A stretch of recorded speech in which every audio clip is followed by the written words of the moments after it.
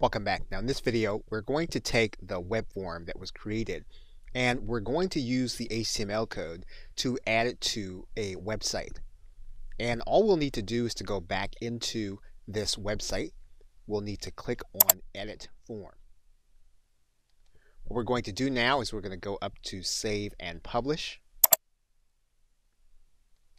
And then we're going to grab this JavaScript code. And so what we're going to do is we're going to copy this entire code and then we're going to head over to our website. Now in this case, we're going to add the code to a WordPress website. And you can pick any post or page. You'll add a new post in this case. Then when we get to this place, what we're going to do is we're going to look for the HTML coding.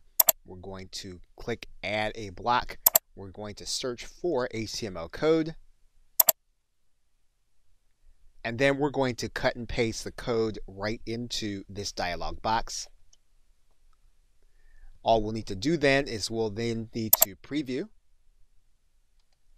If our box looks the way we want it to look, we can then click Publish. And we'll see the opt-in form here. Okay, so with that, thanks, and I will see you in another video.